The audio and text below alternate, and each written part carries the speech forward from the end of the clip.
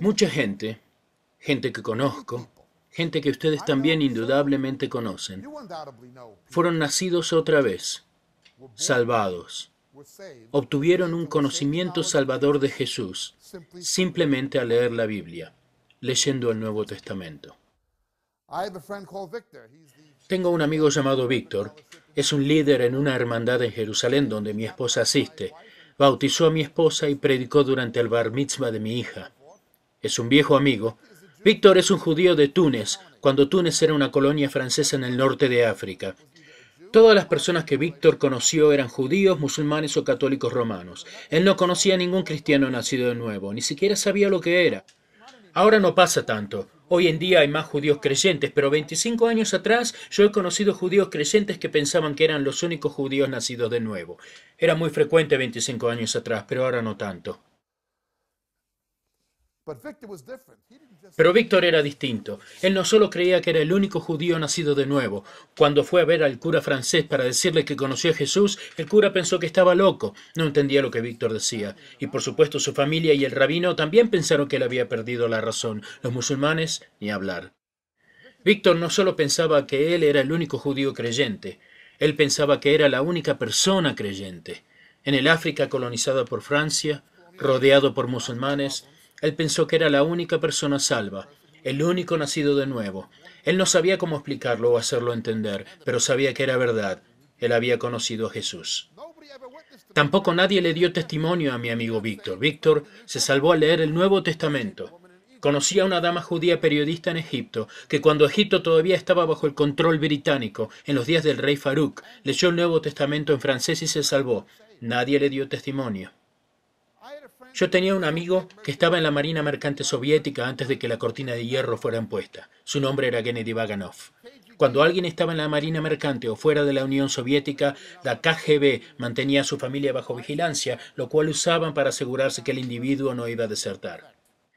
No siempre daba resultado. Recuerdo en mi nativa Nueva York, antes de emigrar a Israel, cada vez que el ballet de Bolshoi venía a Nueva York, volvía a Moscú con unas bailarinas menos. Lo mismo pasaba con los circos soviéticos. Cada vez que volvían a Moscú lo hacían con dos o tres payasos menos. Ellos usaban las familias para evitar que las personas desertaran.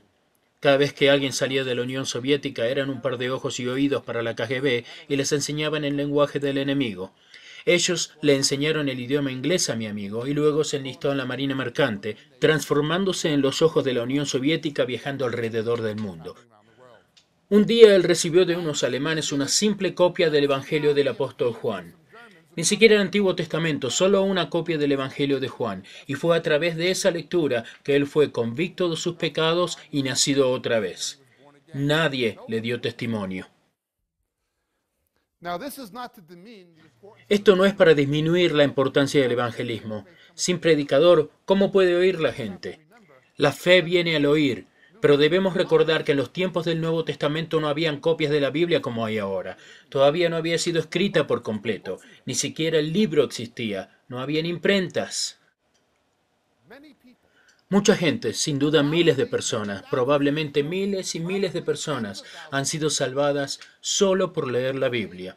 Hay mucha gente que de ese modo han sido nacidos de nuevo, por ejemplo, aquel hombre de negocios en su hotel, sin nada que leer, sin nada mejor que hacer, toma la Biblia puesta allí por los ideones internacionales y al leerla se salva.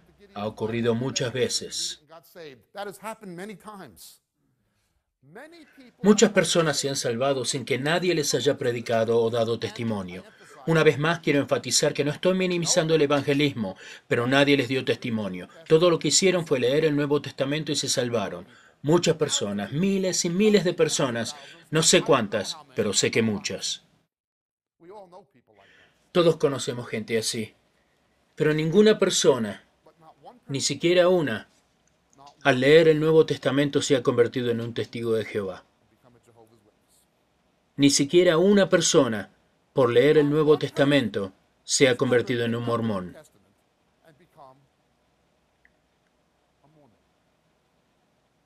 Nadie ha leído el Nuevo Testamento y se ha convertido en un católico romano. Nadie, al leer el Nuevo Testamento, ha dicho, habrá un profeta más grande que Jesús, Mohammed, y se convirtió en musulmán. Eso es lo que el Islam pretende, que el Corán es un tercer testamento. Lo que el nuevo es al antiguo, el Corán es al nuevo. Nadie se ha transformado en un miembro de estos cultos o falsas religiones por el hecho de leer la Biblia. Por sí misma esta es una plena declaración, ¿verdad? Pero la declaración es aún más drástica. Estas religiones, estos cultos, solo pueden existir como resultado de hacer algo que de acuerdo a lo que dijo Jesús nos llevaría al infierno.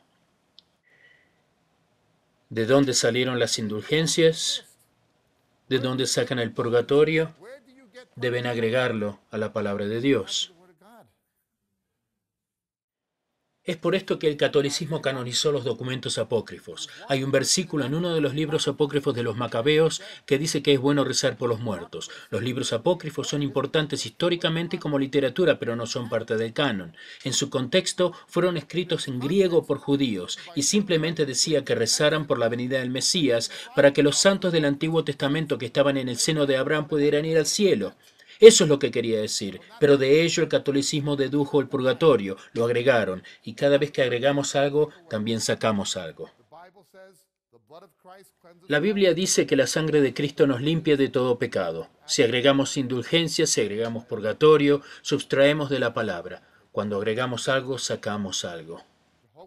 Los testigos de Jehová, la sociedad Watchtower, los santos de los últimos días, como se llaman a sí mismos, la Iglesia romana, el Islam, el judaísmo talmúdico, que no debe confundirse con el judaísmo del Antiguo Testamento. Hay tres tipos de judaísmo. El Torah, que es el judaísmo mosaico, el judaísmo bíblico, que fue consumado con Cristo, lo cual se transformó en el judaísmo mesiánico con los judíos que creen en Jesús como el Mesías. Esos dos judaísmos son válidos, pero también existe una tercera clase de judaísmo, el judaísmo talmúdico, una invención del hombre. No es válido. La única manera en la cual el judaísmo talmúdico puede existir, al igual que el catolicismo romano, los testigos de Jehová, los mormones, Islam, la única manera en la que pueden existir es haciendo algo que los enviará al infierno. Es aterrador, es espantoso.